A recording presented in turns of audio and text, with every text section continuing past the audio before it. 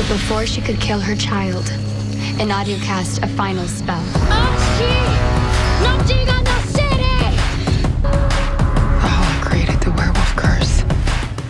Won't see us coming. Door before you. Tell me what triggers the curse! You have to kill somebody.